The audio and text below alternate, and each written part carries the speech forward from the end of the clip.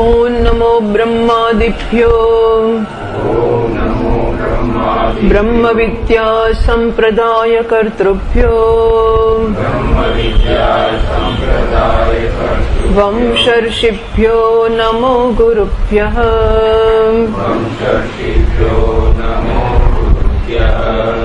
ॐ उषा वा अश्वस्य मेध्यस्य शिरः सूर्यश्चक्षुः वातः प्राणः व्यात्तमग्निर्वैश्वानरः संवत्सर आत्माश्वस्य मेध्यस्य द्यौः पृष्ठम् अन्तरिक्षमुदरम् पृथिवीपाजस्यम् दिशः पार्श्वे अवान्तरदिशः पर्शवः ऋतवोऽङ्गानि मासाश्चार्धमासाश्च पर्वाणि अहोरात्राणि प्रतिष्ठाः नक्षत्राण्यस्थीनि नभो मांसानि ऊवध्यं सिकताः सिन्धवो गुदाः यकृच्चक्लोमानश्च पर्वताः ओषधयश्च वनस्पतयश्च लोमानि उद्यन्पूर्वार्धः निम्लोचन जघनार्दः।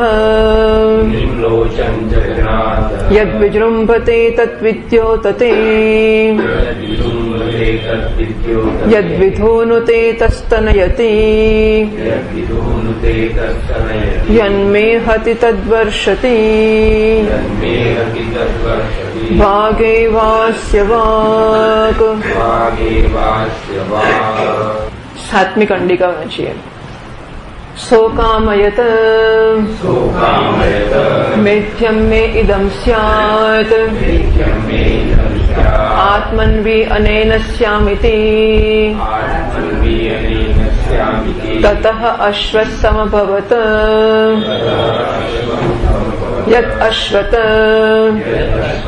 તન્મેધ્યમ અભૂદિતિ तदेव अश्वमेधस्य अश्वमेधत्वम् एषः वा अश्वमेधं वेद य एनमेवं वेद तम् अनवरुध्य एव अमन्यत तं संवत्सरस्य परस्तात्।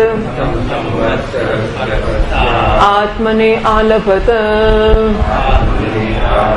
पशोन् देवताभ्यः प्रत्यौहत।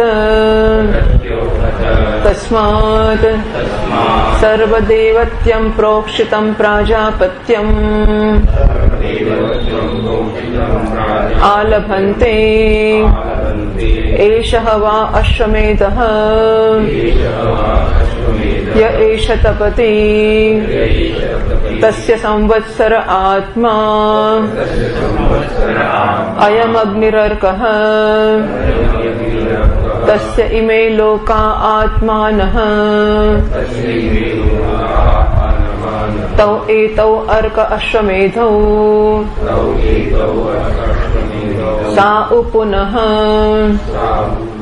एका एव देवता भवति। मृत्युरेव अपपुनर्मृत्युं जयति। नैनं मृत्युः आप्नोति मृत्युः अस्य आत्मा भवति एतासां देवतानाम् एको भवति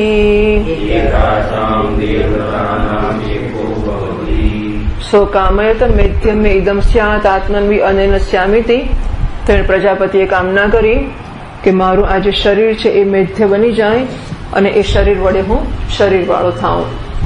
એથી પ્રવિવેશામ વિચારીને એણે એ શરીર જેમાંથી પ્રાણ ચાલ્યો ગયો હતો અને નીકળી ગયા પછી એને શરીરમાં આસક્તિ રહી હતી, એના વિશે તો પાછા એમાં પ્રવેશ કરવાની ઈચ્છા કરી. તત અશ્વ સમભવત યદ અશ્વત. યદ અશ્વત કારણ કે પ્રાણના નીકળી જવા પછી જે શરીર ખુલી ગયું માટે એનું નામ અશ્વ એવું પડ્યું. તન્મેધ્યમ અભૂત અને કારણ કે પ્રવેશ કર્યો માટે એ મેધ એટલે કે હવનને કે યજ્ઞને યોગ્ય થયો. આટે એ આથી મેધ્ય થયો એટલે મેધ એવું નામ પડ્યું. એટલે ખુલી ગયો માટે અશ્વ નામ પડ્યું અને પ્રવેશથી પવિત્ર થયો માટે મેધ નામ પડ્યું. આમ તદેવ અશ્વમેધ અશ્વમેધત્વ આ જ અશ્વમેધનું અશ્વમેધપણું છે. એશ હવા અશ્વમેધમ વેદય, એનમ એવમ વેદ. ખરેખર આ માણસ જ અશ્વમેધને જાણે છે કે એની ઉપાસના કરે છે, જે અશ્વમેધને આ પ્રકારે જાણે છે. તમ અનવરુદ્ધ એવો અમન્યત. હવે આ જે અશ્વ હતો, એને અનવરુદ્ધ લેટિંગ હિમ ફ્રી એને મુક્ત રાખીને કે બાંધ્યા વગર જ રિફ્લેક્શન કર્યું, મનન કર્યું, તમ સંવત્સરસ્ય પરસ્તાત, આત્મને આલભત. અને એક વર્ષ પછી આ અશ્વનું પોતાને માટે જ આલભન કર્યું, પોતાને માટે વધ કર્યો. બીજા પશુઓનો દેવતાઓ માટે વધ કર્યો. તસ્માત સર્વદેવત્યમ પ્રોક્ષિતમ પ્રાજાપત્યમ અશ્વમ આલભન તે યાજ્ઞિકાહ અને માટે આજે પણ યજ્ઞ કરનારા જે લોકો યાજ્ઞિકો હોય છે, એ બધા દેવતાઓને માટે પ્રોક્ષણ કરીને પછી પોતાનો પ્રજાપતિ પોતે એટલે પોતાના શરીર ઉપર આ અશ્વ છે, પ્રજાપતિ છે પ્રકારની કલ્પના કરીને એનો વધ પ્રજાપતિ દેવતા માટે કરે છે. એશ હવા અશ્વમેધ હવે આ યજ્ઞ કરે છે, એનું ફળ શું મળે છે? તો બતાવે છે કે જો આ સૂર્ય તપે છે, એ જ આ યજ્ઞનું ફળ છે. એશ હવા અશ્વમેધ એશ સવિતા તપતિ. આ સૂર્ય તપે છે, એ જ અશ્વમેધ છે, અશ્વમેધનું ફળ છે. થશે સંવત્સર આત્મા સંવત્સર કે વર્ષ એ એનું શરીર છે અયમ અગ્નિ અર્ક અગ્નિ છે એ અર્ક છે તો એ તો અર્ક અશ્વમેધ અને આ અગ્નિ અને સૂર્ય અર્ક અને અશ્વમેધ છે સા પુનઃ એકાએવ દેવતા ભવતી મૃત્યુ એવ આ જે મૃત્યુ છે મૃત્યુરૂપ દેવતા એક જ છે જે આ પ્રકારે અશ્વમેધને મૃત્યુરૂપ દેવતા એ રીતે જાણે છે કે એની ઉપાસના કરે છે તે અપ પુનર્મૃત્યુમ સ પુનર્મૃત્યુ અપજયતી અપ ઉપસર્ગ એ જયતી સાથે છે.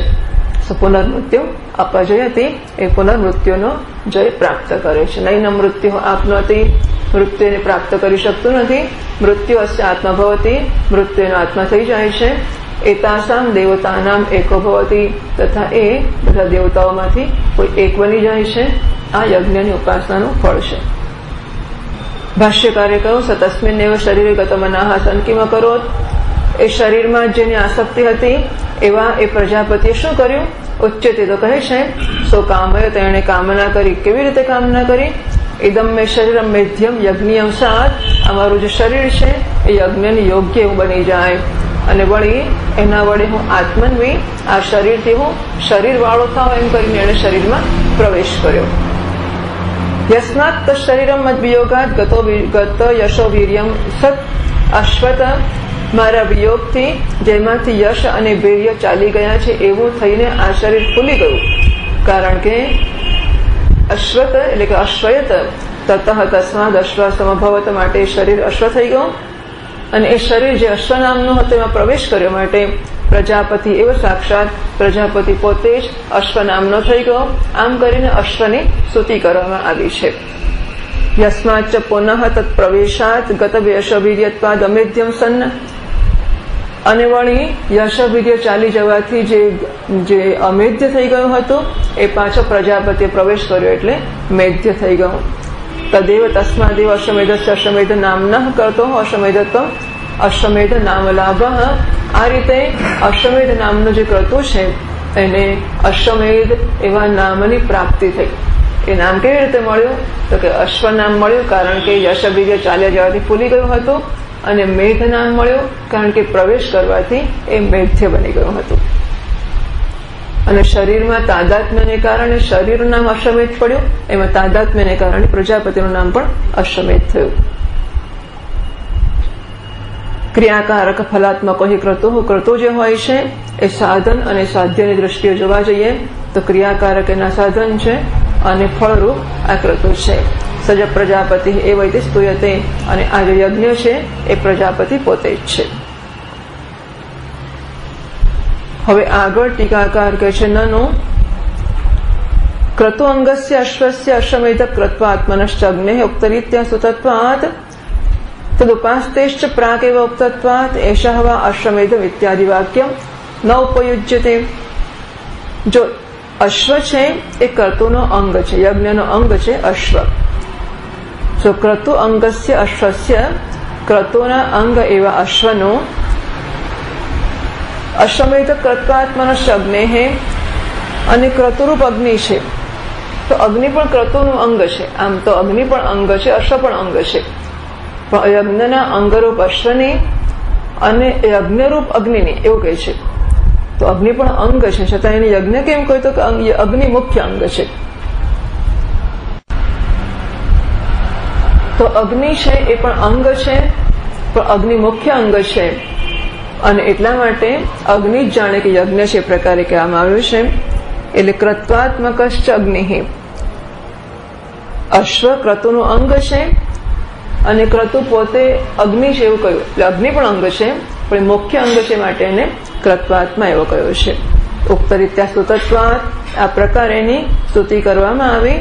તદુપાસ્તેશ્ચ પ્રાગેવ ઉપતત્વાત અને અશ્વની ઉપાસના અને અગ્નિની ઉપાસના બંને ઉપાસનાઓ સ્વતંત્ર આગળ કહેવાઈ ગઈ છે તો પછી એશ હવા અશ્વમેધમ ઇત્યાદિ વાક્યમ ન ઉપયોજ્યતે અશ્વ અને અગ્નિ બેની વાત ચાલે છે અને અશ્વ અને અગ્નિ બંનેની ઉપાસનાઓ કહેવાઈ ગઈ છે તો હવે આ જે કંડિકા છે જેમાં એશાવા અશ્વમેધ યશ તપતિ વગેરે કહેવામાં આવ્યું છે એની જરૂર શી છે કારણ કે અશ્વ અને અગ્નિ બંનેની ઉપાસનાઓ તો કહેવાય ગઈ છે આગળ. તત્રાહ એના જવાબમાં ભાષ્યકાર કહે છે. ચોસઠ પાના ઉપર જૂના પુસ્તકમાં ભાષ્યનો બીજો પેરેગ્રાફ. નિર્વર્તકસ્ય અશ્વસ્ય પ્રજાપતિત્વમ ઉક્તમ ઉષાવ અશ્વસ્ય મેધ્યસ્ય ઇત્યાદિના ક્રતુ નિર્વર્તકસ્ય અશ્વસ્ય ક્રતુ યજ્ઞ કરનારો કરાવનારો એટલે કે જેના વડે યજ્ઞ થાય છે એવો જે અશ્વ છે એ અશ્વસ્ય પ્રજાપતિત્વ એટલે અશ્વ પ્રજાપતિ અશ્વ પ્રજાપતિ છે એવું કહ્યું છે ક્યાં કહ્યું ઉષાવા અશ્વસ્ય મેધ્યસ્ય શિરહ આ જે પહેલી કંડિકા હતી એ પહેલી કંડિકામાં કહેવામાં આવ્યું કે અશ્વ છે એ પ્રજાપતિ છે આ રીતે અશ્વની ઉપાસના આ રીતે કહેવામાં આવી ટીકામાં કે છે ઉત્તમ છે ચિત્યસ્ય અગ્નિ તસ્ય પ્રાચીદિક ઇત્યાદિના પ્રજાપતિ તમિતિ શેષ એમણે કહ્યું કે બંનેની ઉપાસના કહેવામાં આવી ગઈ છે અશ્વની અને અગ્નિની અશ્વની ક્યાં કઈ ચોષાવા અશ્વસ્ય મેધ્યસ્ય શિર એમાં અશ્વની ઉપાસના કઈ અગ્નિની ઉપાસના ક્યાં કહી તો એક બે ત્રણ એટલે બીજા બ્રાહ્મણના ત્રીજા મંત્રમાં, એની તસ્ય પ્રાચિદિક વગેરે જે મંત્ર હતો, એમાં અગ્નિની ઉપાસના કહેવામાં આવી.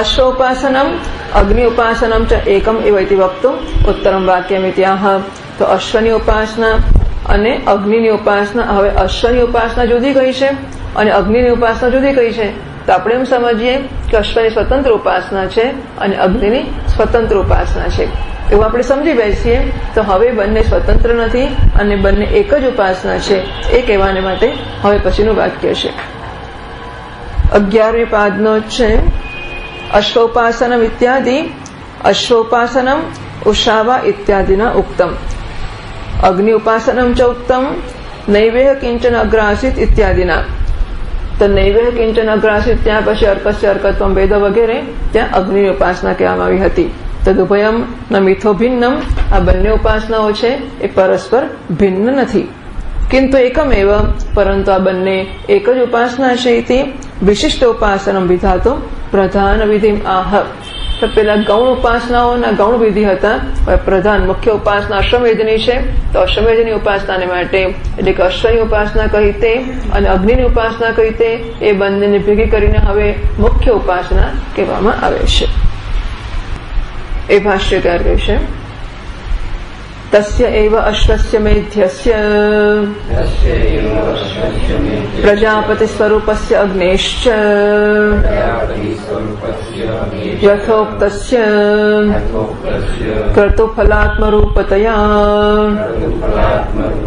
समस्य।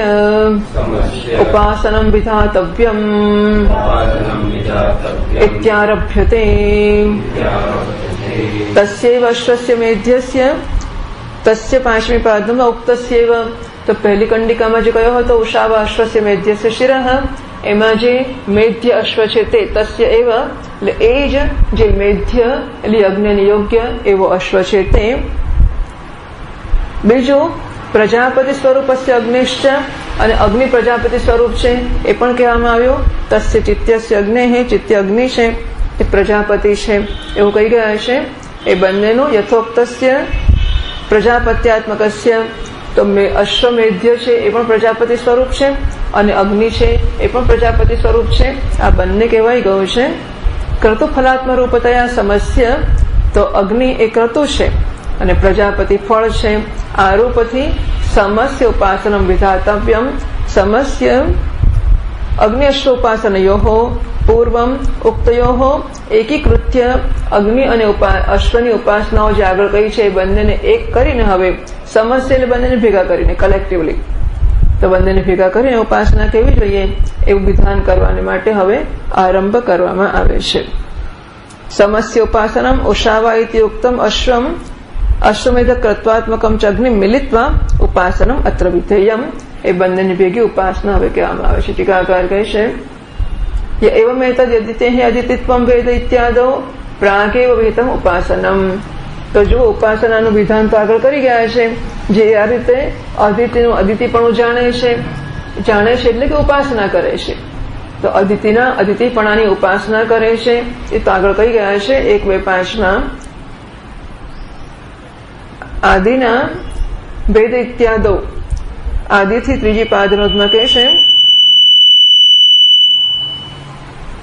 કંડિકા ઉક્ત અર્કસ્ય અર્કત્વમ વેદ ઇતિ અપી તૃતીય કંડિકા ઉક્તમ ય ઉક્તમ એવમ વિદ્વાન ઇતિ ગ્રાહ્યમ તો આગળ બે જગ્યાએ ઉપાસનાનું વિધાન આવી ગયું છે ઉપાસનાનું વિધાન એટલે આ પ્રકારે ઉપાસના કરવી જોઈએ અથવા જે આ પ્રકારે ઉપાસના કરે છે એને આ ફળ મળે છે તો ઉષાવા અશ્વસ્ય મેધ્યસ્ય શિરહ એ કંડિકા જુઓ તમે તો કંડિકામાં કોઈ પણ જગ્યાએ એવું નથી લખ્યું કે આવી ઉપાસના જે કરે છે.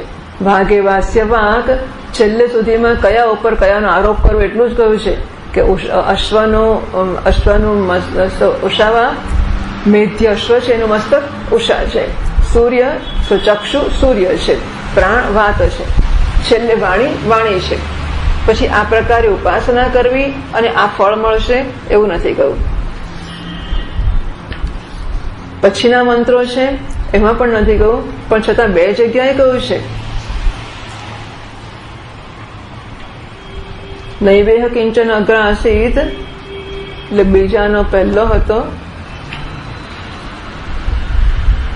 બીજા બીજા બીજા બ્રાહ્મણનો પહેલો મંત્ર છે એમાં, કમ ભાવ આસ્મય ભવતી એવમ એતદ અર્કસ્ય અર્કત્વમ વેદ, આ અર્કનું અર્કત્વ જે જાણે છે એને કમ ભવતી, એને કમની પ્રાપ્તિ થાય છે, એ ત્યાં એવમ વેદ એમ કરીને ઉપાસનાનું વિધાન કરવામાં આવ્યું છે.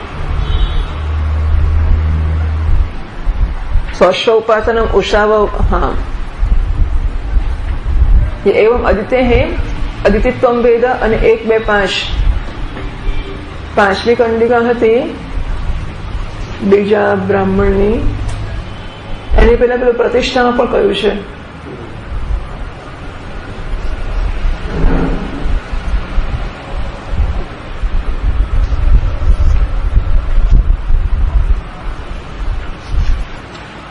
હા, તો ત્રીજી કંડિકા હતી એમાં તદ્ય પ્રતિષ્ઠતી એવમ વિદ્વાન. આ પ્રકારે જે જાણે છે, પ્રતિષ્ઠા પ્રાપ્ત કરે છે. એ ત્રીજી કંડિકામાં કહ્યું હતું. અને પાંચમી કંડિકામાં એવમ અદિતે અદિતિત્વમ વેદ ત્યાં અદિતિની ઉપાસના પણ કહી હતી. એટલે ત્રણ વાર આમાં આવી ગયો કે જ્યાં વેદ, ઉપાસના એવું એમણે કહ્યું છે. ટીકાકાર કહે છે એવમ अदितेः અદિતિત્વમ વેદ ઇત્યાદવ ઇત્યાદો એટલે આદિ કહ્યું છે આદિ નીચે લખે છે એક બે, એક પ્રથમ કંડિકા ઉક્ત, અર્કસ્ય અર્કત્વમ વેદ ઇત્યાપી તો એક બે એક, ત્યાં અર્કનું અર્કપણું ઉપાસે છે, ત્યાં પણ કહ્યું છે. અને ત્રીજી કંડિકામાં એક બે ત્રણમાં એવમ વિદ્વાન, ત્યાં પણ કહ્યું છે. અને એક બે પાંચ અદિતિત્વમ વેદ, ત્યાં પણ કહ્યું છે આગળ ત્રણ જગ્યાએ એવમ વેદ, આ પ્રકારે ઉપાસનાના વિધિની વાત કરવામાં આવી છે. તો પ્રાગ્ય વિહિતમ ઉપાસનમ. ઉપાસનાનું વિધાન તો થઈ જ ગયું છે આગળ. કેમ પુનઃ આરંભેણ તો તમે પાછા એમણે એમ કહ્યું કે આગળ મંત્રો કયા? ઉપાસનાનું વિધાન નથી કર્યું. એટલે આગળ જે મંત્રો કયા છે એમાં ઉપાસનાનું વિધાન નથી કર્યું માટે હવે ઉપાસનાનું વિધાન કરીએ છીએ. તો ત્રણ વાર તો ઉપાસનાનું વિધાન કર્યું છે તમે. પછી કેમ કહો છો કે ઉપાસનાનું વિધાન નથી અને માટે કરીએ છીએ? યાશંક્ય એવી શંકાના જવાબમાં કેમ પુનઃ આરંભેણો એટલે? એકત્વ ફલક ફલકેના આરંભેણો ચોથી પાદમાં કહ્યું કે એકત્વ પ્રાપ્ત કરવા રૂપી ફળવાળો એવો આજે આરંભ તમે કરી રહ્યા છો, એની શી જરૂર છે? એ ભાષ્યકાર કહે છે. પાછા ટોપાનું ભાષ્યની પહેલી લીટી. પૂર્વત્ર ક્રિયાપદસ્ય વિધાયકસ્ય અશ્રુતત્વાત ક્રિયાપદ અપેક્ષત્વાચ અપેક્ષત્વાચ પ્રકરણસ્ય અયમ અર્થ અવગમ્યતે પૂર્વત્ર ક્રિયાપદસ્ય વિધાયકસ્ય શ્રુતત્વાદ તો આગળ વિધાયક ક્રિયાપદ એટલે કે વિધિ કરતો કે વિધાન કરતો, કે આ પ્રકારે ઉપાસના કરવી જોઈએ. એવું કોઈ ક્રિયાપદ નથી આવ્યું. વાઘે વાસ્ય વાક, આમ એટલું જ આવ્યું છે કે કયા અંગો પર કયા એટલે અશ્વના કયા અંગો પર સમષ્ટિના કયા અંગનો આરોપ કરવો, એવું કહ્યું છે. પણ આવું કરવું જોઈએ, એવું કહ્યું નથી. વિધાનકસ્ય ક્રિયાપદસ્ય અશ્રુતત્વાદ વિધાન કરતો કે વિધિ આપતો ક્રિયાપદ સાંભળવા મળ્યું નથી અશ્રુતત્વાદ એટલે શ્રુતિ અપ્રતિપાદિતત્વાદ શ્રુતિએ એનું પ્રતિપાદન કર્યું નથી તો ભરણ ના કર્યું તો કહે છે ના ક્રિયાપદ અપેક્ષત્વાચ પ્રકરણસ્ય અને પ્રકરણ ઉપાસનાનું છે એટલે પ્રકરણ અપેક્ષા રાખે છે કે ક્રિયાપદ કેવું જોઈએ બીજું કોઈ પ્રકરણ હોય તો જુદી વાત છે ઉપાસનાનું પ્રકરણ છે માટે ક્રિયાપદ હોવું એ અપેક્ષિત છે. અયમ અર્થ અવગમ્યતે. અને માટે આ અર્થ સમજાય છે કે હવે સમસ્યની જે પહેલી પાદરોત કહે છે, સમસ્ય ઉપાસના વિધાતવ્ય હતી અયમ અર્થ. તો અગ્નિ અને અશ્વ બંનેની ભેગી કરીને ઉપાસના કેવી જોઈએ? એનું વિધાન કરવું જોઈએ. એવો અર્થ અમને હવે આમાંથી સમજાય છે, કારણ કે આગળ જે વાક્યો કયા છે, એમાં કોઈ ક્રિયાપદ ઉપાસનાનો વિધિ બતાવતો કહેવામાં આવ્યો નથી.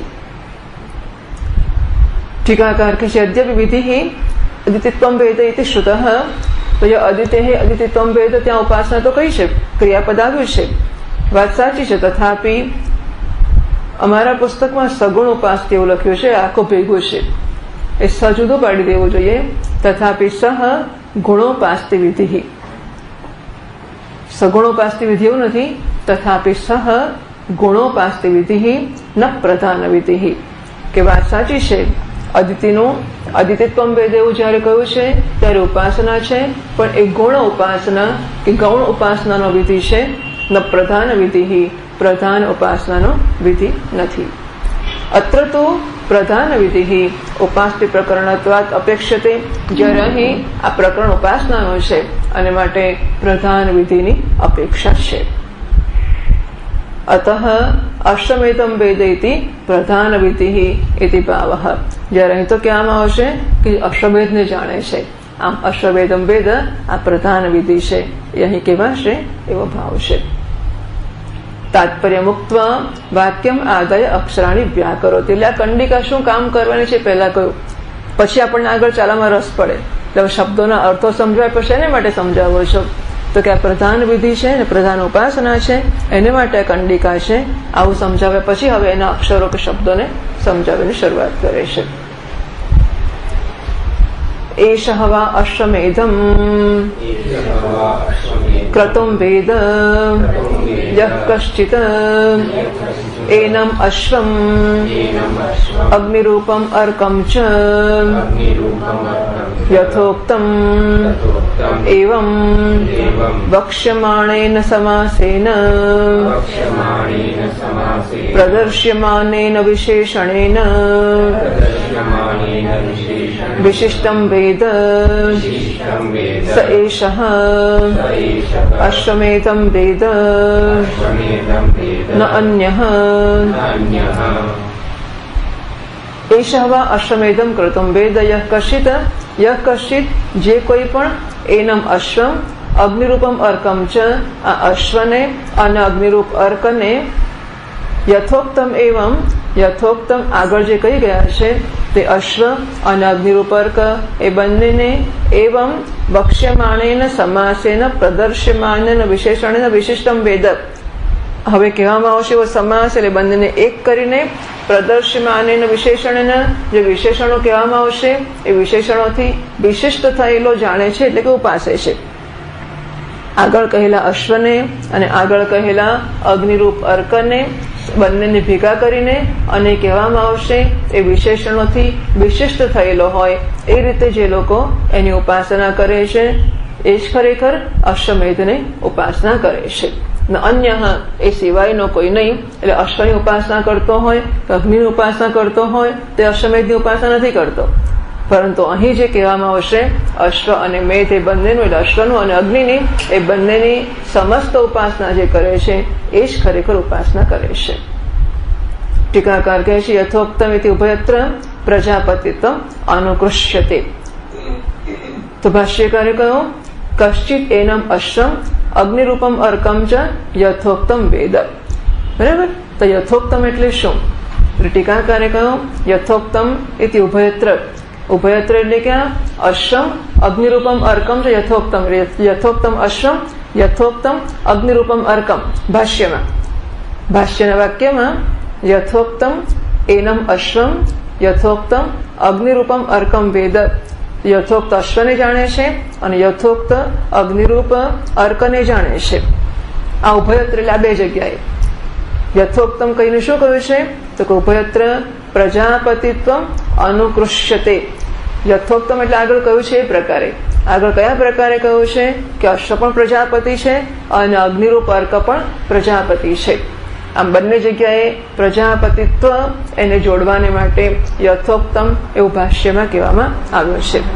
અર્કમ અશ્રમ અને અગ્નિરૂપમ અર્કમ ચ યથોક્તમ વેદ. તો અશ્વને અને અગ્નિરૂપ અર્કને યથોક્ત જાણે છે. એટલે કે યથોક્ત બંનેને યથોક્ત જાણે છે. ચ ચથી બંનેને જોડ્યા, તો બંનેને યથોક્ત જાણે છે. એટલે કે બંનેને આ પ્રકારે બંને પ્રજાપતિ છે. અશ્વને પણ પ્રજાપતિ તરીકે જાણે છે અને અગ્નિરૂપ અર્કને પણ પ્રજાપતિ તરીકે જાણે છે. તમ અનવરુદ્ધિ ઇત્યાદિ પ્રદર્શ્યમાન વિશેષણમ. ભાષ્યકારે કહ્યું છે પ્રદર્શ્યમાન વિશેષણ વિશિષ્ટમ વેદ. પછી બતાવવામાં આવશે, એ વિશેષણોથી વિશિષ્ટ થયેલો એ પ્રકારેની ઉપાસના કરે છે. તો કયા વિશેષણો છે? એટલે કહે છે, તમ અનવરુદ્ધિ ઇત્યાદિ પ્રદર્શ્યમાન વિશેષણમ. એને બાંધ્યા વગર કે બંધનથી મુક્ત રાખીને જ એ પ્રકારે જે ઉપવિશેષણો કયા છે, એ કહેવામાં આવશે. એ વિશેષણોથી વિશિષ્ટ થયેલો જાણે છે. છઠ્ઠી પાદ ઇત્યાદિના પ્રદર્શ્યમાન ઇત્યર્થ. તો તમ અનવૃદ્ધ વગેરે દ્વારા પ્રદર્શ્યમાન છે જે બતાવવામાં આવશે એ વિશેષણોથી વિશિષ્ટ. પણ એમાં કઈ વિધિની તો સ્પષ્ટતા થતી નથી. વિધિ અત્ર સ્પષ્ટો ન ભવતી ત્યાં આશંક્યા પણ વિધિ સ્પષ્ટ ના થાય એવું થતું હોય તો ભાષ્યકાર કહે છે તસ્માત એવમ વેદિતવ્ય ઇત્યર્થ. માટે એવું કરવું જોઈએ. પહેલાના શિષ્યો હતા એ ગુરુની સેવા કરતા હતા. એમ બહુ સરસ nice to know about that એટલે કે એવું એટલા માટે કહ્યું છે કે અત્યારે સેવા પેલા ખબર ના પડે પછી કે એટલે શું? બ્રાહ્મણ વિવિશંતિ યજ્ઞેન, દાનેન તપસા અનાશકેન, પહેલાના જમાનાના બ્રાહ્મણો વિદ્વાનો હતા ને તમે તમ વેદાનું વચન એના બ્રાહ્મણ હવિષંતિ વેદોનું અધ્યયન કરતા હતા અને પછી યજ્ઞ, દાન, તપ વગેરે કરતા હતા અને ઘર છોડીને નીકળી જતા હતા. અરે વાહ! એવું હતું કે હા, એવા કોણ કોણ હતા? એટલે એનું નામ આપે, એનું વર્ણન કરે, કથા કરે અને પેલો સાંભળ્યા જ કરે. તો કે તને શેને માટે કહ્યું છે કે તમે કહો કે પેલા બ્રાહ્મણો આવું કરતા હતા. એને માટે નથી કહ્યું કે માટે તમારે પણ એવું કરવું જોઈએ, એટલા માટે કહ્યું છે. એટલે જ્યારે સ્તુતિ કરવામાં આવે અથવા નિરૂપણ કરવામાં આપણો અર્થવાદ છે. ભૂતાર્થવાદ કે ભૂતકાળમાં કંઈક થઈ ગયું, એનું વર્ણન કરવામાં આવે, નિરૂપણ કરવામાં આવે, સ્તુતિ કરવામાં આવે, તો શેને માટે કરવામાં આવે છે? એટલા માટે કરવામાં આવે છે કે આપણે પણ એમના જેવું કરવું જોઈએ. હવે સ્તુતિ કરવાથી ખબર ના પડે, આપણને કરે સ્તુતિ કરતા હશે. તો ખબર ના પડે તો પાછું કેવું પડે શિક્ષકોએ? ભાષ્યકાર મહારાજ કહે છે, મારે તમારે એવું કરવું જોઈએ. તસ્માત એવમ વેદિતવ્ય. તો આ લોકોએ કર્યું છે કે બધા કરતા હતા કે આવું જે જાણે છે એને ખરેખર અશ્વમેધ જાણનારો કહેવાય કે અશ્વમેધનો ઉપાસક કહેવાય. તો કે બહુ સરસ કે ના બહુ સરસ નહીં, માટે તમારે આવું કરવું જોઈએ. એવમ વેદિતવ્ય આ પ્રકારે જાણવું જોઈએ. બીજી પાદમાં કોઈ તસ્ય અશ્વમેધ અર્થ હા, આવું જે જાણે છે, એ જ ખરેખર અશ્વમેધનો ઉપાસક છે અને માટે અશ્વમેધના ઉપાસકે આ પ્રકારે ઉપાસના કરવી જોઈએ. અશ્વમેધ વિશેષ્યત્વેન સંબદ્ધતે તો આ પ્રકારે અશ્વમેધને જાણવો જોઈએ. એટલે અશ્વમેધ ક્યાં જોડાયો? તો કે વિશેષણ વિશિષ્ટમ અશ્વમેધમ વેદમ. એવું થયું, હા? તો વાક્ય ભાષ્યનું વાક્ય જુઓ. એશવા અશ્વમેધમ ક્રતુમ વેદ. યહ કશ્ચિત એનમ અશ્વમ અગ્નિરૂપમ અર્કમ યથોક્તમ એવમ ભક્ષ્યમાણેન સમાચેન પ્રદર્શ્યમાણેન વિશેષણેન વિશિષ્ટમ અશ્વમેધમ ક્રતુમ વેદ. એવું થશે. આ વિશેષણોથી વિશિષ્ટ થયેલો એવો જ અશ્વમેધ છે, એવા અશ્વમેધને જાણે છે. એટલે અશ્વમેધનો સંબંધ ક્યાં જોડવો? ટીકાકાર કે છે, અશ્વમેધ વિશેષ્યત્વેન સંબધ્યતે એટલે વિશેષણ વિશિષ્ટમ, તો વિશેષણો કયા થયા? અનવરુદ્ધ વગેરે વિશેષણો થયા. બરાબર? અને વિશિષ્ટ કોણ થયો? વિશેષણો વાળો. પણ કોણ વિશેષણો વાળો? તો કશ્વમેધ. એટલે વિશેષ્ય કોણ છે એ જો સ્પષ્ટ સ્પષ્ટતા ન થતી હોય તો વિશેષ્ય જેને વિશેષણ લગાડવાના છે એ અશ્વમેધ છે વિશેષણ કોણ છે તમ અનવરુદ્ધ એવા એનું બંધન કર્યા વગર જ એ પ્રકારના જે કહેવામાં આવશે એ વિશેષણો છે so visheshan is adjective visheshya is to be qualified by the adjective vishishta is with the adjective the qualified that is vishishta so the one who knows એટલે એમણે કહ્યું કે આવા વિશેષણો વાળો જાણે છે, પણ કોને જાણે છે? તો વિશેષ્ય ક્રતુ છે, અશ્વમેધ છે. એટલે આ પ્રકારના વિશેષણોથી વિશિષ્ટમ અશ્વમેધમ ક્રતુમ યહવેદ આ વિશેષણોથી વિશિષ્ટ અશ્વમેધ યજ્ઞને જે જાણે છે કે ઉપાસના કરે છે, એ જ અશ્વમેધને જાણે છે. અશ્વમેધમ વેદ ઇતિ પ્રધાન વિધિ અદિતિત્વમ વેદ ઇતિ ગુણવિધિ. એટલે અદિતિત્વની વિધિ હતી, એ ગુણ વિધિ, ગૌણ વિધિ હતી. અશ્વમેધમ વેદ એ આમ પ્રધાન વિધિ છે.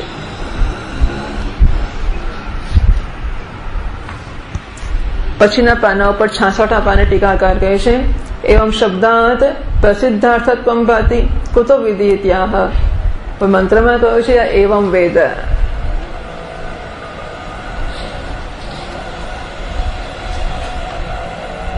એશ હવા અશમેદમ વેદ કે એનમ એવમ વેદ જો એને આ પ્રકારે જાણે છે એ જ ખરેખર અશ્વમેધને જાણે છે તો આ પ્રકાર એવું કે તે તો પહેલા જાણીતું હોય તો જ કહેવાય ને। જો જાણીતું ના હોય, તો આ પ્રકારે કેવી રીતે કહેવાય? એટલે એવમ એવું કહ્યું છે એટલે ટીકામાં જે એવમ શબ્દ છે, એ મંત્રનો છે। એટલે મંત્રમાં જે એવમ શબ્દ છે, એ એવમ શબ્દાત પ્રસિદ્ધાર્થત્વમ ભાતી। એવમ શબ્દથી જણાય છે કે આ ઉપાસના તો પ્રસિદ્ધ છે। કુતો વિધિ પછી પાછો વિધિ કરવાની શી જરૂર પડી? તો ભાષ્યકાર કહે છે, કથમ. શા માટે વિધિ કરવો પડ્યો? તો ટીકાકાર કહે છે શહવા અશ્વમેધમ વેદ ઇત્યાદિ વ્યક્ષિત વિધેય ભૂમિકામ કરોતી. જે વાક્ય છે મૂળ મંત્રનું એ શહવા અશ્વમેધમ વેદ. આ જ માણસ ખરેખર અશ્વમેધને જાણે છે. એ વાક્યમાં વિવક્ષિત વિધેય જે વિધિ વિવક્ષિત છે. એટલે તમે આવું કરો, ખરેખર તો લિંગ લોટ તવ્ય આવે ત્યારે જ વિધિ થઈ કહેવાય ને? તો જે આવું જાણે છે, એ ખરેખર જાણે છે. એમાં કઈ વિધિ તો આવ્યો નથી. એટલે એમાં વિવક્ષિત એમને પહોંચાડવાની ઈચ્છા તો છે વિધિ, પણ સ્પષ્ટ વિધિ એવું ક્રિયાપદ તો નથી જ અંદર. એટલે જે વિવક્ષિત વિધિ છે, એની ભૂમિકા કરે છે. તેરમી પાદનોદમાં વિશિષ્ટ વિધેહે એટલે વિશિષ્ટનો વિધિ એટલે વિશેષણ અને વિશેષને જોડીને જે વિશિષ્ટ થયો હવે એના વિધિ માટેની ભૂમિકા કરતા ભાષ્યકાર કહે છે, તત્ર પશુ વિષયમ એવ તાવત દર્શનમ આહ. તો તત્ર પહેલા તો પશુ વિષયનું દર્શન એટલે કે ઉપાસના કહેવામાં આવે છે. હવે જ્યારે ઉપાસના કહેવાય છે, ત્યારે સમગ્ર વિશિષ્ટ અશ્વમેધની કહેવાય છે. પેલા અશ્વની હતી, અગ્નિની હતી, અલગ અલગ હતી. હવે જે ઉપાસના કહેવાય છે, એ અશ્વમેધની ઉપાસના કહેવાય છે. એમાંથી પહેલા પશુ વિષયક ઉપાસના કહેવામાં આવે છે. તત્ર એટલે ઉપાસ વિધિ પ્રસ્તાવ સપ્તમ્યર્થ. સપ્તમ એટલે તત્ર. તો ભાષ્યનો જે શબ્દ છે તત્ર, એનો અર્થ ઉપાસ વિધિ પ્રસ્તાવ. એટલે કે ઉપાસ વિધિ પ્રસ્તાવે. તત્રનો અર્થ ઉપાસ વિધિ પ્રસ્તાવમાં પ્રસ્તાવ એટલે ચૌદ પાદનો છે પ્રકરણ તો ઉપાસ વિધિ પ્રકરણે ઉપાસનાના વિધિના પ્રકરણમાં પહેલા પશુ વિષયની ઉપાસના કહેવામાં આવે છે કથનનું પશુ વિષય દર્શનમ દર્શનમ તદ્દર્શયતી તો પશુ વિષયક ઉપાસના કેવી છે તે બતાવે છે પંદર ને સોળ કેવું સ્વરૂપમ એનું સ્વરૂપ કેવું છે તદ્દર્શયતી તદ એટલે વિશિષ્ટ વિધિરૂપમ ઇત્યર્થ વિશિષ્ટ વિધિરૂપ જે દર્શન બતાવે છે પછી પૂર્ણ વિરામ કરવો જોઈએ પાદનોદમાં ઇત્યર્થ પછી પૂર્ણ વિરામ પશુ વિષયમ વિશિષ્ટ વિધિરૂપમ દર્શનમ કથમ ઇત્યાન્વય એટલે કે પશુ વિષયનું વિશિષ્ટ વિધિરૂપ દર્શન છે કેવા પ્રકારનું છે એનું સ્વરૂપ કેવું છે એ પ્રકારનો અન્વય વાક્યનો થશે તત્ર પ્રજાપતિ भूयसा यज्ञेन ભૂયો યજેય ઇતિ કામયિત્વા આત્માનમ એવ પશુમ મેધ્યમ કલ્પયિત્વા તમ પશુમ અનવરુદ્ધ એવ ઉત્સૃષ્ટમ પ્રશુમ અવરોધમ અકૃત્વા એવ મુક્ત अमन्यत। અચિંતયત તત્ર પ્રજાપતિ ત્યાં પ્રજાપતિએ ભૂયસા યજ્ઞ ભૂયો યજય તો મોટા યજ્ઞથી હું વળી પાછું યજ્ઞ કરું એથી કામયિત્વા એવી કામના કરીને આત્માનમ એવ મેધ્યમ પશુમ કલ્પયિત્વા આત્માનમ સ્વશરીરમ પોતાના શરીરને જ પશુમ એટલે અશ્વમ મેધ્યમ એટલે યજ્ઞિયમ તો પોતાના શરીરને જ આ શરીર છે એ જ યજ્ઞમાં હોમવાનું પશુ છે એ પ્રકારે પોતાના વિશે કલ્પના કરીને તમ પશુ અનવરુદ્ધ એવા એ પશુને બાંધ્યા વગર ઉત્સૃષ્ટમ એટલે છૂટું જ રાખીને અવરોધમ અકૃત્વ એવા એને બાંધ્યા વગર જ મુક્ત પ્રગ્રહમ એ તેની લગામ કે એની દોરડી જે હોય એ પકડીને બાંધી નહીં એવું રાખીને અમન્યત અચિંતયત એને ચિંતન કર્યું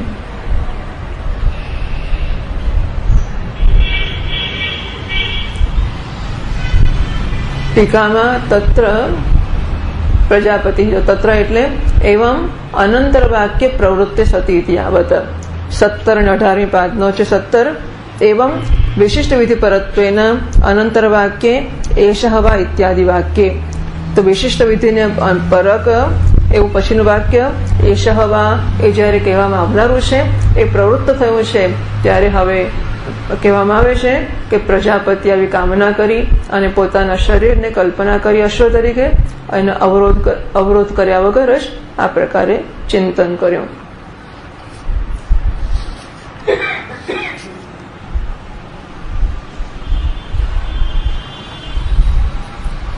આગળ આપણે એક પાદનો જોઈ હતી કે આ પ્રજાપતિ છે, આ અશ્વમેધ યજ્ઞ છે. એ યજ્ઞના દેવતા તો પ્રજાપતિ જ છે.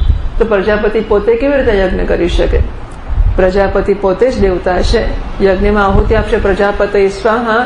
તો યજ્ઞના દેવતા પણ પ્રજાપતિ છે અને યજમાન પણ પ્રજાપતિ હોય. એટલે પ્રથમ પણ પ્રજાપતિ થયો અને ચતુર્થીય પ્રજાપતિ થયો. સંપ્રદાન પણ પ્રજાપતિ અને કર્તા પણ પ્રજાપતિ. એવું કેવી રીતે થઈ શકે? એટલે કહ્યું હતું કે ઠીક છે. આ તો એટલે પ્રજાપતિનો અધિકાર નથી. અશ્વમેધ યજ્ઞમાં પ્રજાપતિનો અધિકાર નથી કારણ કે આહુતિ તેને એટલે પેલો એક્ઝામિનર હોય, પોતાના છોકરાની પરીક્ષાનો પેપર ના તપાસી શકે. એવું હોય ને? તો પોતાનું તો ના જ તપાસી શકે.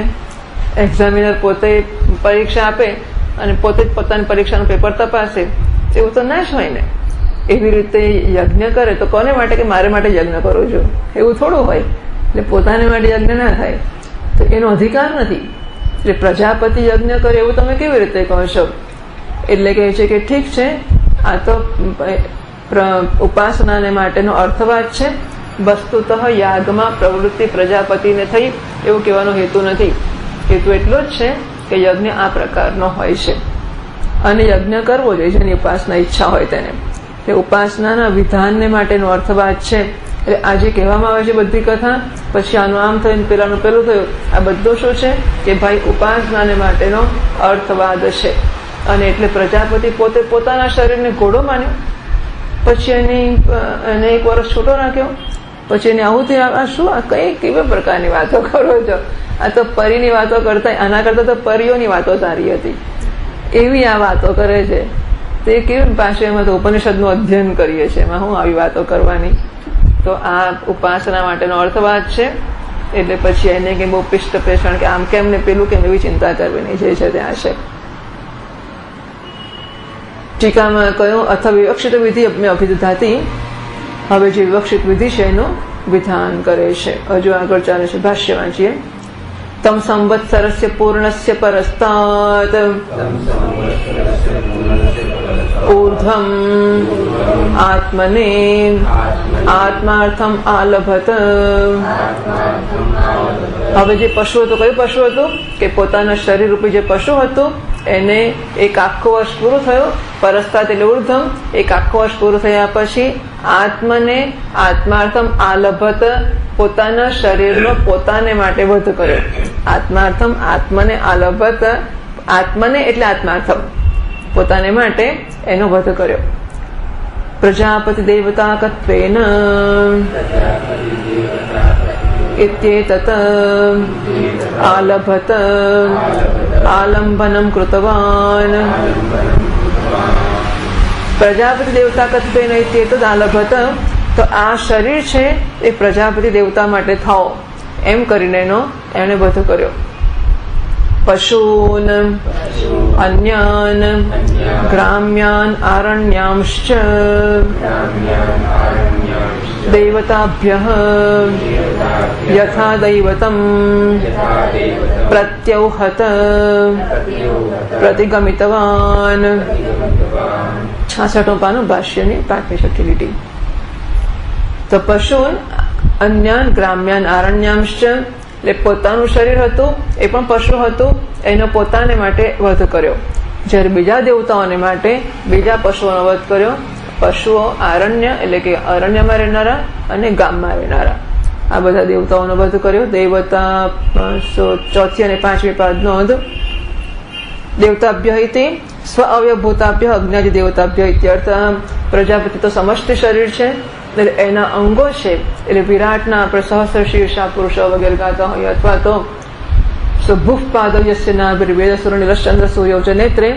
એમાં વિરાટનું વર્ણન કર્યું અને પાદવ યસ્ય, તો પૃથ્વી છે જેના પગ છે.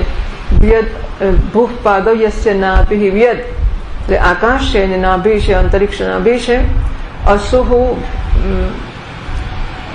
યસ્ય નાભિર વ્યદ અસુ, અનિલહ અસુહુ તો વાયુ છે એના પ્રાણ છે.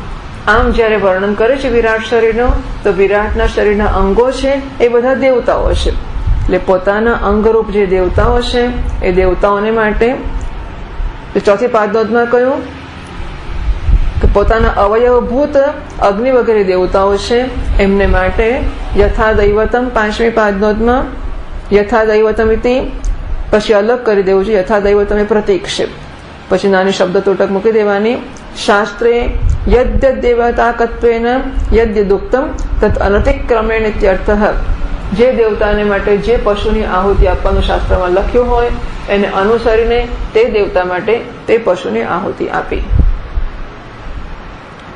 પ્રતિગમિતવાન પછી ટીકાકાર કહે છે અથ વિવક્ષિત વિધિમ અભિદધાતી ઓગણીસો પાંચ નોંધમાં અથૈથી ભૂમિકામ કૃત્વા આ પ્રકારે ભૂમિકા કરી વિધિ માટે અને હવે જે વિધિ કહેવાની ઈચ્છા છે એમની, એ વિધિનું નિરૂપણ કરે છે. યસ્માચ્ચ એવમ પ્રજાપતિ અમન્યત तस्मात् एवम् अन्योऽपि उक्तेन विधिना आत्मानं पशुम् अश्वं मेध्यं कल्पयित्वा सर्वदेवत्यः अहम्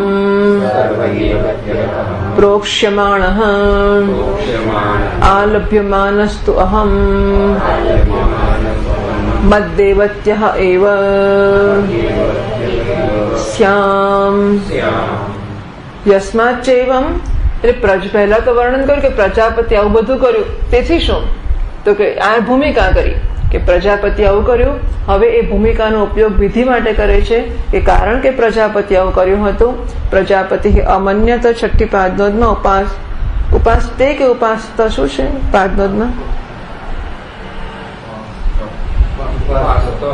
ઉપાસતો જ છે એવું રૂપ થાય છે ઉપાસત મને એમ કે ઉપાસતે એનું કંઈક હોય આસ્તે આસતે આસતે આસ્તે એટલે ઉપાસતે હોઈ શકે ઉપાસ તો કઈ રૂપ છે કે નહીં જોજો ભાઈ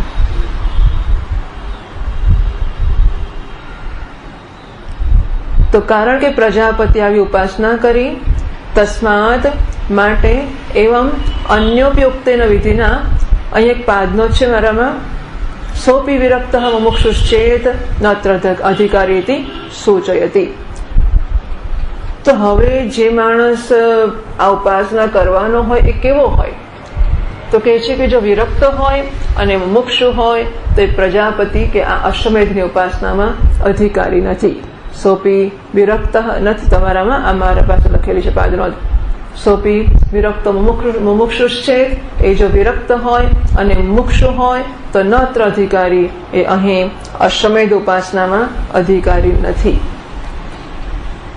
એથી શું છે તે મૃત્યુત્વ પ્રતિપિત્સયા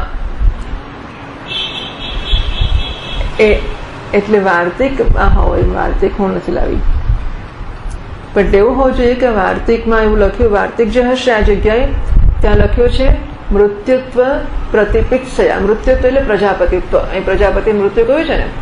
તો મૃત્યુત્વ પ્રતિપિત્સયા એટલે પ્રજાપતિત્વ પ્રતિપત્તુમ ઈચ્છયા. પ્રજાપતિત્વનું એટલે કે પ્રજાપતિનું પદ પ્રાપ્ત કરવાની જેની ઈચ્છા હોય એને માટે આ ઉપાસના છે. જો માણસ વિભાગ વિરક્ત હોય અને મુક્ષ હોય જેને પ્રજાપતિનું પદ પ્રાપ્ત કરવાની ઈચ્છા નથી, એને માટે આ ઉપાસના નથી.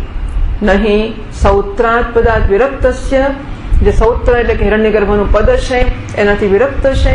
તસ્મિન અહંગ્રહ ઉપાસ્ય અધિકાર, એનો અહંગ્રહ ઉપાસનામાં અધિકાર નથી. પ્રજાપતિત્વાર્થી ચેત એકદમ ઉપાસિત. પણ જો એ પ્રજાપતિત્વ, પ્રજાપતિના પદની ઈચ્છા વાળો હોય, તો એને આ પ્રકારે ઉપાસના કરવી. એટલે ભાષ્યકાર મહારાજે કહ્યું ને કે પ્રજાપતિ આમ કર્યું એનો અર્થ શું કે પ્રજાપતિ આમ કર્યું માટે આ પ્રકારે ઉપાસના કરવી જોઈએ. એમણે એવું નથી કહ્યું કે કોણે કરવી જોઈએ. બધાએ કરવી જોઈએ. એટલે વાર્તિકકાર મહારાજ ઉમેરી આપે છે તે મૃત્યુત્વ પ્રતિપિત્સયા. મૃત્યુત્વની, એટલે કે પ્રજાપતિત્વની, એટલે પ્રજાપતિના પદને પ્રાપ્ત કરવાની ઈચ્છા હોય તો એ માણસે આ પ્રકારે કરવું જોઈએ. જે વિરક્ત છે મુક્ષુ છે અને જેને સૌત્ર પદની કોઈ પડી જ નથી, એને માટે આ ઉપાસના છે જ નહીં.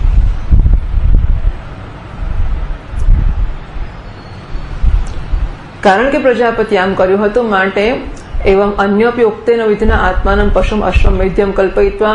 બીજો પણ જે યજમાન હોય, જે ઉપાસના દ્વારા પ્રજાપતિનું પદ પ્રાપ્ત કરવા ઈચ્છતો હોય, એણે પોતાના શરીરને મેધ્ય, એ યજ્ઞનું જે પશુ છે અશ્વ, એ પોતે પોતાનું શરીર છે એ પ્રકારે કલ્પના કરીને સર્વદેવત્યહમ પ્રોક્ષ્યમાણ સાત, આઠ અને નવ. અહમ એટલે મત શરીરમ. સર્વદેવત્ય એટલે સર્વદેવતાર્થ આ અમારું શરીર છે, એ બધા દેવતાઓને માટે છે. એમ કરીને પ્રોક્ષમાણ ઇતર દ્રવ્યસ્યાપી પ્રજાપતિ રૂપત્વાત અભેદોક્તિ તો બીજા જે દ્રવ્યો હશે બધા યજ્ઞ માટેના, એ બધાનું પ્રોક્ષણ કરી રહ્યા છે. બધા પ્રજાપતિ રૂપ છે કારણ કે પ્રજાપતિના સાધન છે. પ્રજાપતિત્વના સાધન છે. માટે બધા પણ પ્રજાપતિ રૂપ જ છે. એ બધાનું અભેદથી, અભેદના ભાવથી પ્રોક્ષણ કરીને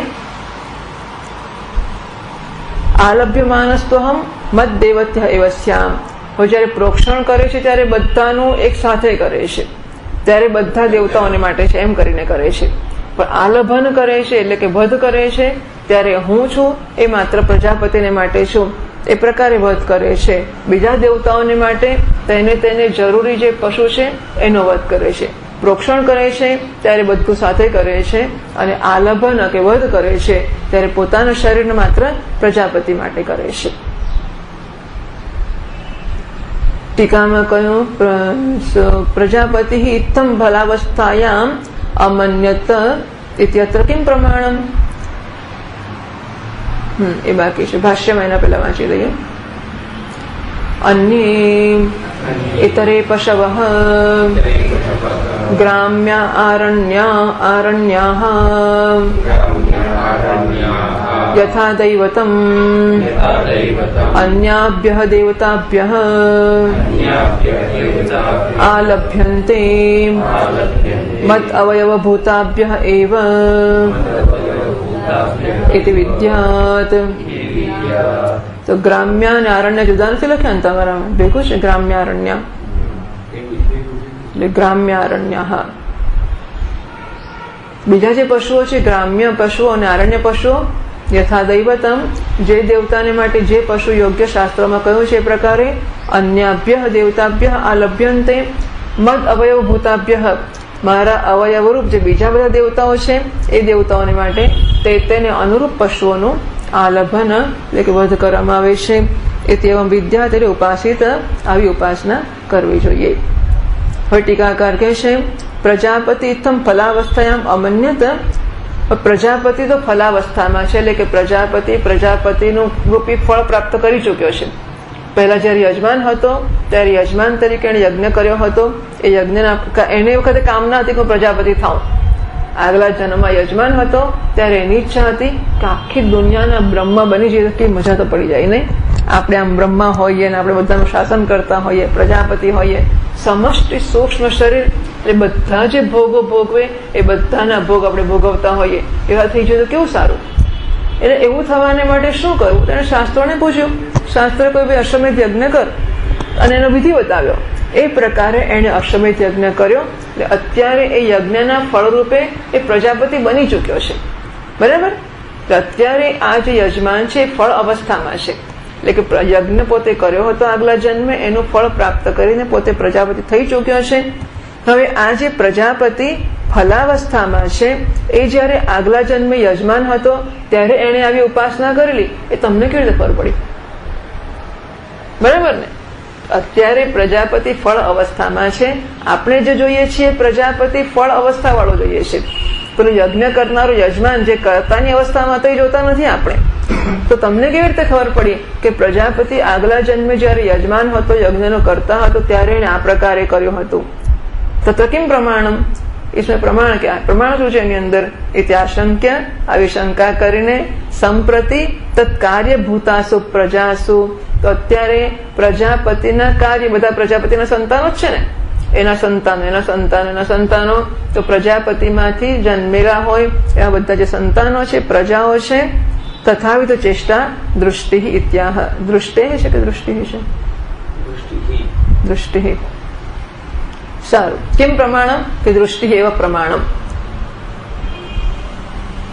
પ્રજાપતિએ ફળાવસ્થામાં આવું કર્યું હતું એમાં પ્રમાણ શું છે? તો કે પ્રજામાં આ પ્રકારની ચેષ્ટાની દૃષ્ટિ ચેષ્ટા જોવા મળે છે એ જ અહીં પ્રમાણ છે. વીસમી પાદમાં પ્રજાસુ કારણ અનુવિધાયિત્વ કાર્ય સ્થિતિ ભાવ. તો એ પ્રજામાં જોવા મળે છે એટલે શું?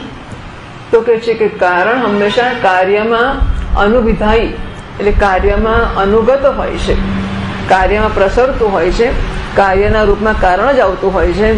તો પ્રજાપતિના કાર્યરૂપ એના સંતાનો પ્રજાઓ છે. અને પ્રજા અત્યારે જે કરે છે એ તો દેખાય છે ને? પ્રજાપતિએ શું કર્યું દેખાતું નથી.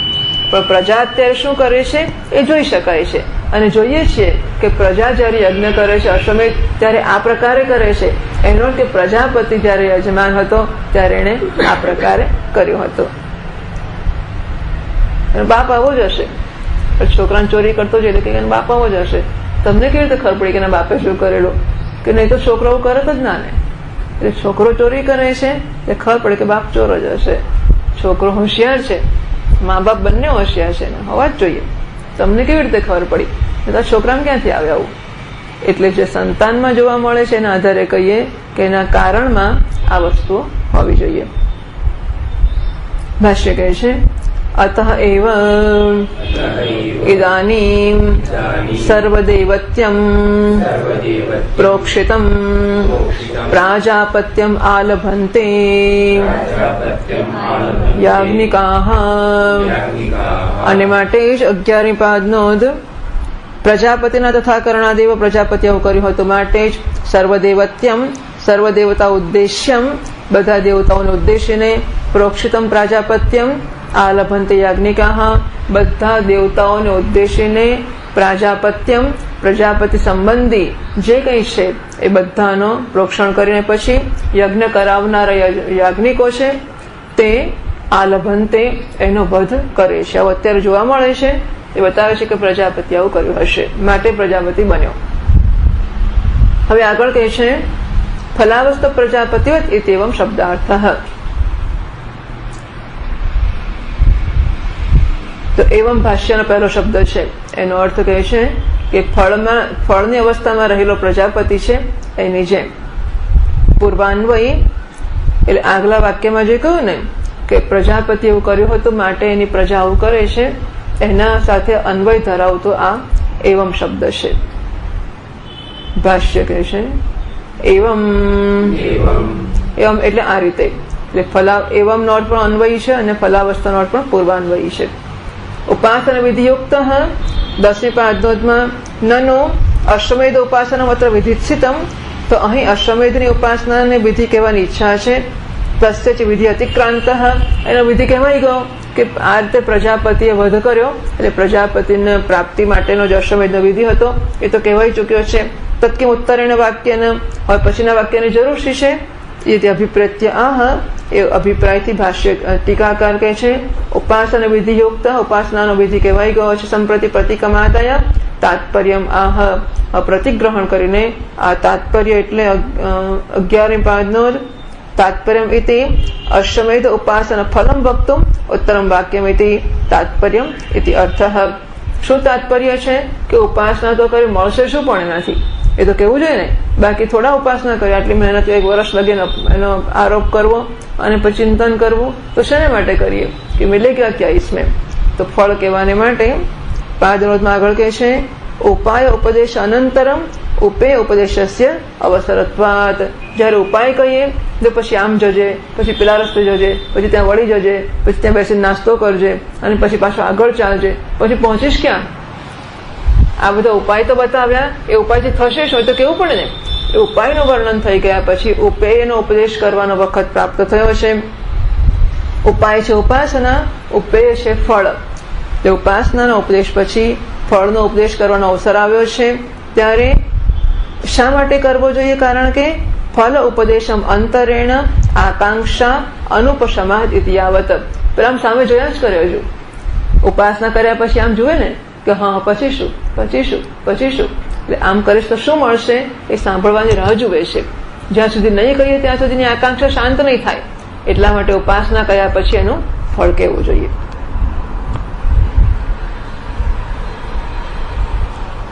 આહ એટલે ભાષ્યકાર કહેશે एष वै। अश्वमेधः। य एष तपति। यस्तु एवं पशुसाधनकः क्रतुः। स एषः। साक्षात् फलभूतः। निर्दिश्यते। एषः वा अश्वमेधः।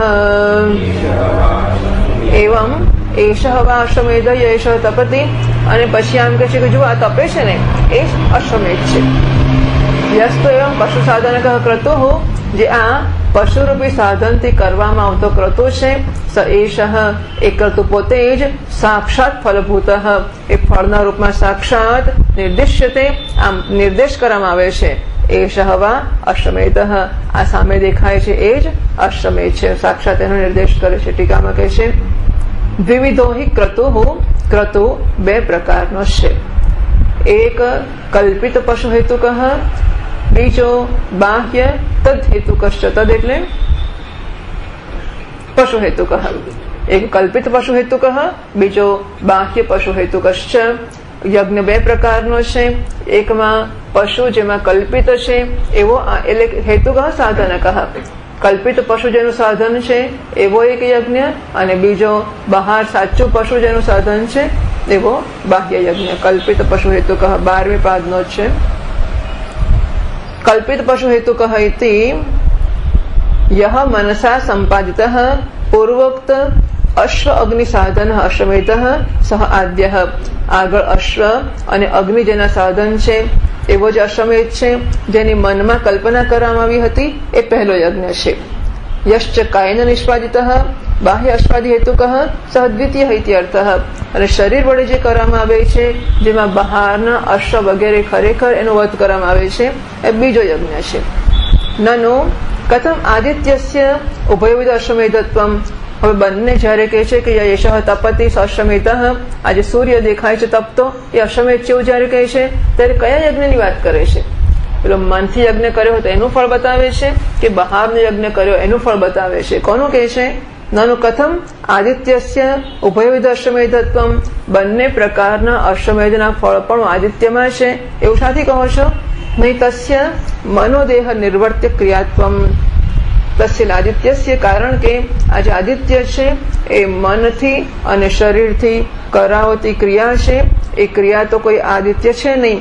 એવી શંકા કરો તો કહે છે, મા એવમ. એવી શંકાને સ્થાન નથી. ઉભય તાવત અશ્વમેધ ક્રિયા. અશ્વમેધ ક્રિયા બે પ્રકારની છે. માનસી, કાયિકી છે. માનસી પણ છે અને કાયિકી પણ છે. તત અનુષ્ઠાનાત તદ એટલે અશ્વમેધ અનુષ્ઠાનાત એટલે માનસિક કાયિકી કોઈ પણ પ્રકારના અશ્વમેધના અનુષ્ઠાનથી યહ અપૂર્વાત્મા અપૂર્વાત્મા પરિણામ. આત્મા છે કે આત્મા છે? કાનો છે? છે અપૂર્વાત્મા પરિણામ. અપૂર્વ રૂપ જે પરિણામ ઉત્પન્ન થાય છે, અપૂર્વ ડાન્સિંગ રિઝલ્ટ અદૃષ્ટ. તો યજ્ઞ કરવાથી જે અપૂર્વ પેદા થયો, એ અપૂર્વ રૂપ જે પરિણામ છે, એના દ્વારા સવિતા એવ માનસ અશ્વમેધ. એના દ્વારા સૂર્ય છે, એ જ માનસ અશ્વમેધ છે. યહ પૂર્વ ઉષાવા ઇત્યાદિ અનુક્રાંત કાયિકોપી સ એવ. એટલે પહેલા જે ઉષાવ અશ્વસી મેધ્ય શિશિર ત્યાં કયો હતો? માનસ અશ્વમેધ, એ આ સૂર્ય જ છે. કાયિક ઓફિસા એવા અને શરીરથી બહારથી કરવામાં આવે છે પણ. આ સૂર્ય છે. યમ સાક્ષાત અશ્વાદિભિ નિર્વર્તયતી, જે સાક્ષાત અશ્વ વગેરે દ્વારા કરવામાં આવે છે. એટલે ઉષાવાથી કયો હતો એ માનસ અશ્વમેધ અને સાક્ષાત અશ્વ વગેરે કરવામાં આવે છે. એ કાયિક અશ્વમેધ, એ બંને આ અત્યારે સૂર્ય જે દેખાય છે એના રૂપમાં જ ફળ ફળ રૂપે દેખાઈ રહ્યો છે.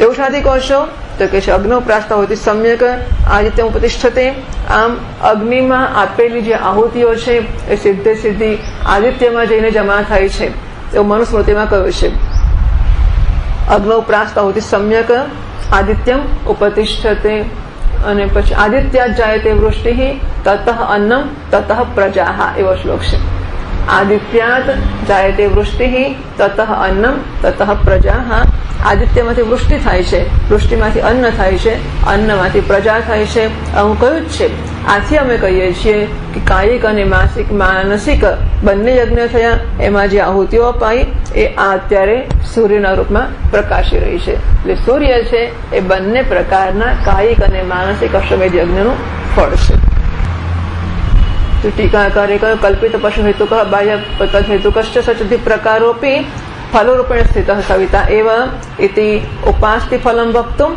એતદ વાક્યમ ઇત્યર્થ આમ બંને દ્વિપ્રકારોપી અને દ્વિપ્રકાર એવ બંને પ્રકારનો જે યજ્ઞ છે એ ફલરૂપેણ સ્થિત સવિતા એવ એ આ ફળના રૂપમાં બહાર દેખાતો સૂર્ય છે એ બંને પ્રકારના યજ્ઞનું ફળ છે આમ ઉપાસનાનું ફળ કહેવાને માટે આ વાક્ય છે, એવો અર્થ છે ઓમ.